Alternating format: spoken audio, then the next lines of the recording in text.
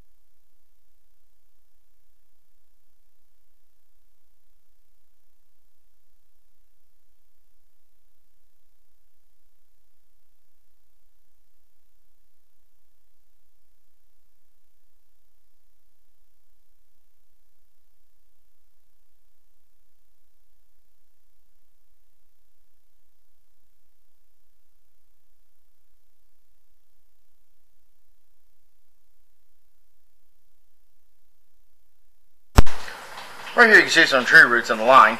We're getting ready to come back into the uh, cast iron that runs underneath the house right here.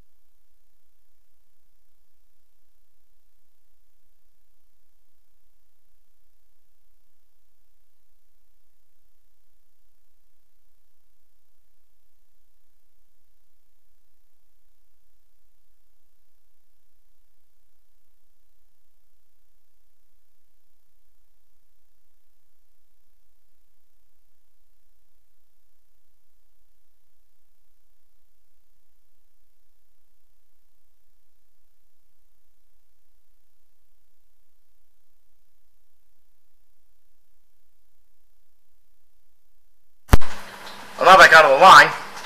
This concludes the videotaping of this sewer.